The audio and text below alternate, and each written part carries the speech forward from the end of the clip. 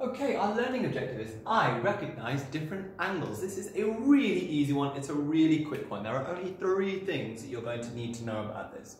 But first of all, let's understand what an angle is. An angle is the point where two sides come together. So angles are. If I pick up this trusty tray of mine, we can see here is an angle. I've got a side and a side come together. This in here is known as an angle. There are angles everywhere. I put my arm out like this, this point here and this point here, here is an angle. Okay? Now, we can measure those angles using something called a protractor, but that's not what we're doing today. We're trying to recognize what type of angle we are looking at. So, where are angles again? They are everywhere. They are so important, okay? These are sort of things that you, you don't even recognize on a daily basis, but you notice when you start to look, they're everywhere. I bet if you look around your house now, you can spot angles everywhere.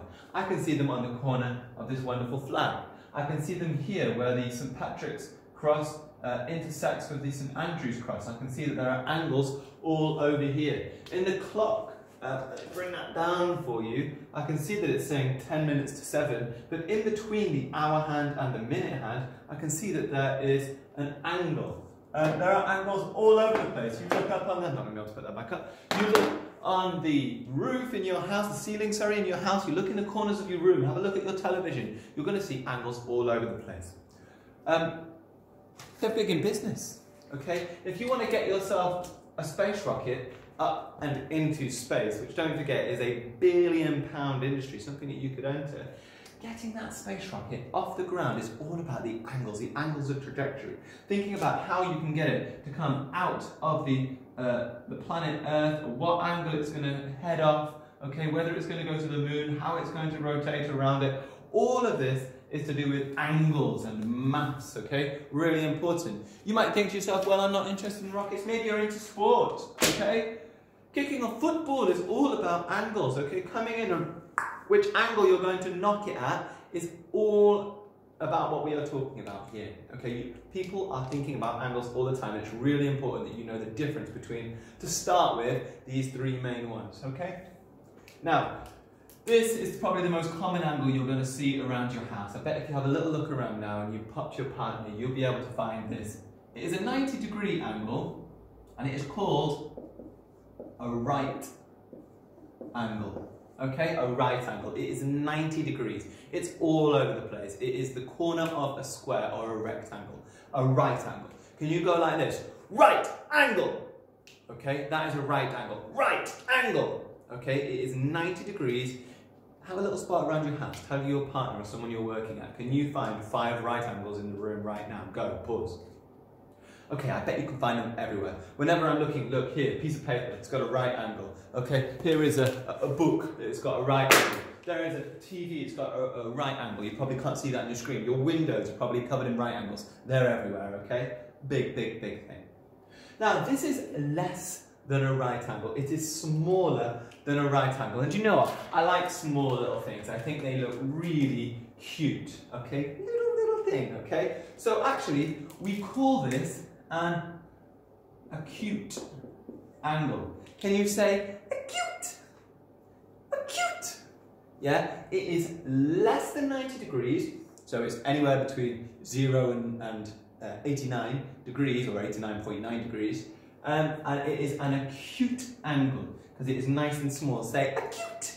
So we've got, so far at the top, we've got right angle, we've got these smaller ones, acute angle, and whoa, now we've got this one here, and I'll tell you what, that is one big angle. It's more than 90 degrees. It's a little bit on the large side, potentially a little bit obese, okay? And we're gonna call this an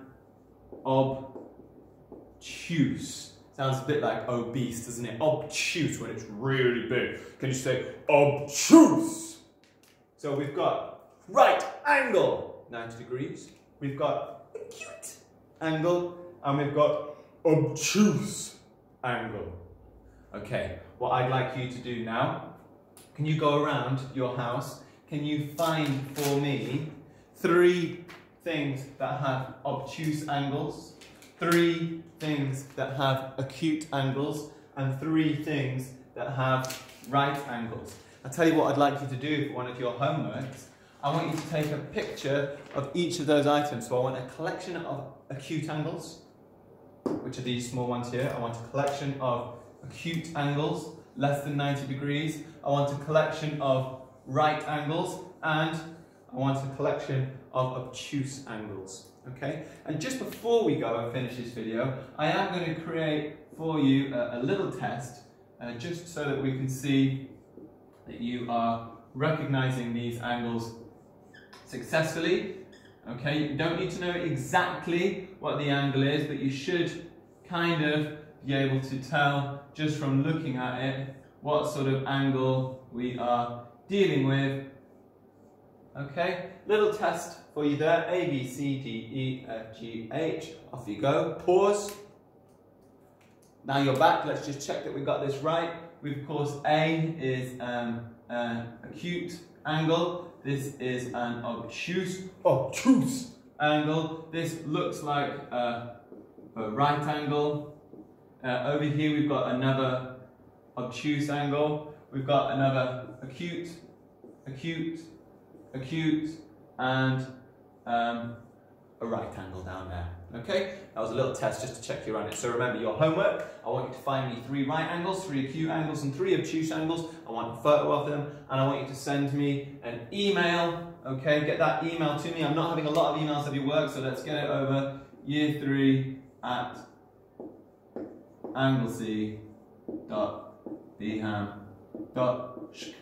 Remember, there are no spaces, and if you want to have a look on the school website, you'll find the email address there as well. Okay, off you go.